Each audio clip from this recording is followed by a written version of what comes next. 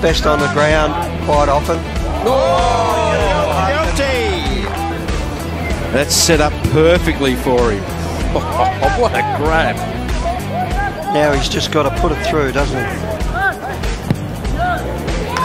Good Just- Yep. But clear mark there. Play on's a call.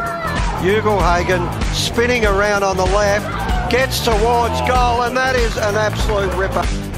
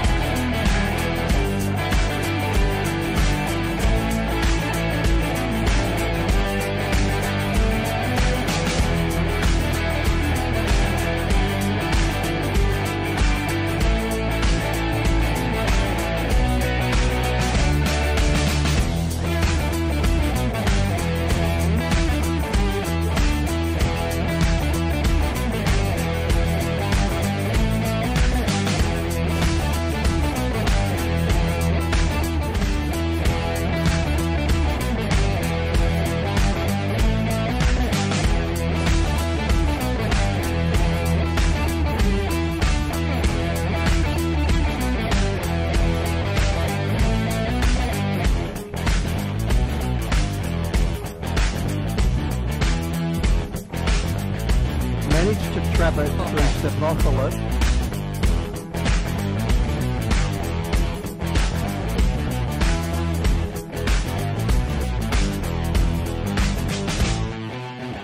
Normally he's got Joel Nathan for company.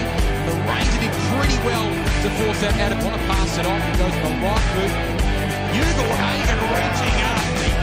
His defence uh, goes for a contest. Won't get to Smithy Ugle-Hagan. Eyes on the football. Nice point. Was king point. Up towards half for Ugle-Hagan outnumbered three to one in the end. He still beats them all. Ugle-Hagan works it along the wing. Ugle-Hagan big one on one here. And he's so clever and A to Anderson. Here is Bianco on the left boot. Beautiful looking kick towards Ugle-Hagan, who had an outstanding first half. That's an outstanding kick to Ugle-Hagan. It impacted AFL level. Here's Clark. Geez, Ugle-Hagan applied the pressure and forced the turnover. Stathopoulos with another opportunity. This time he searches for the day. Nathan in front, not paid the mark. Fist came afternoon. Inside 50 to Ugle-Hagan on the searching lane. The team round. Thanks Coleman trying to apply the tackle. Now Ugle-Hagan coming in. Strips it, gets caught himself. Again went short to Stevens. Inboard kick,